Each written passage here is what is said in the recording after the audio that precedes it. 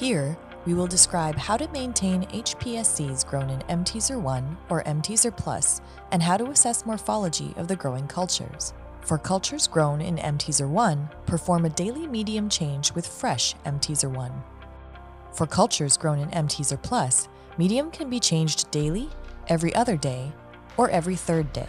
When skipping two consecutive days of feeding, add twice the volume of medium. The time between passages, or the culture schedule, should be anywhere from every four to seven days. If passaging occurs more frequently, the HPSC colonies may be quite small, and this could cause issues with reattachment of aggregates in the next passage. If passaging occurs less frequently than every seven days, cultures may become overgrown and differentiated. Morphological assessment. Visually assess the cultures every one to two days to monitor growth. You may find that the appropriate passaging day for the mTeSR Plus cultures may be earlier than the mTeSR 1 cultures. Start by examining the morphology of the cultures under the microscope. Using a phase contrast microscope, begin at low magnification and scan the well to assess the quality of the PSC morphology. At the time of passage, PSC colonies should be relatively large, cells should be tightly packed, exhibit phase brightness at the center of the colony due to multi-layering, and have a distinct border. It is also normal to see colonies merging at this stage.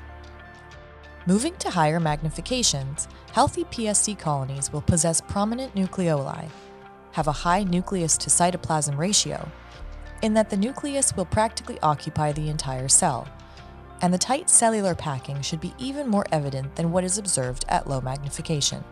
It is normal to see a low percentage, less than 10%, of spontaneous differentiation in healthy HPSC cultures. At low magnification, if there are suspected areas of differentiation, in that there is a loss of border integrity, cellular packing appears more loose and disorganized, if there are visible holes or areas of non-uniformity within a colony, investigate by moving to a higher magnification. At a higher magnification, it should become obvious if the colony contains differentiated cells, these cells will typically appear larger and less tightly packed than healthy cells in a colony. Once you have identified an area of differentiation, using a microscope object marker or a permanent marker, mark the area on the underside of the plate and monitor this until the time of passage. HPSC morphology is a sensitive indicator of cell quality.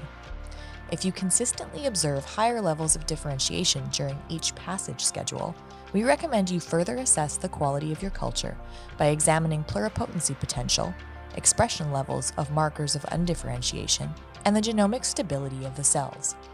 For more technical videos like this one in this series, please visit stemcell.com.